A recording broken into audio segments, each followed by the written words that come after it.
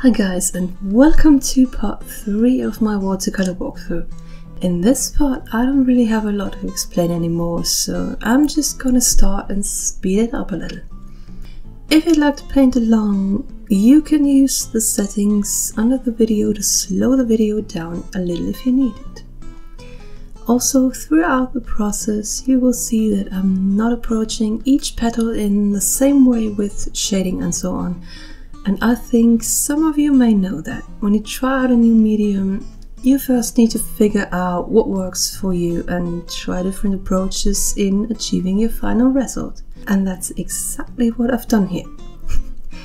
Don't think there is only the one way to do things.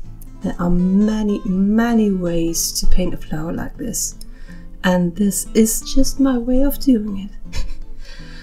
I think when I'm about through the middle, I finally have found my way on how to do things, but yeah, you will see that. so thank you already very much for watching and stay tuned because part 4 is coming soon. Bye!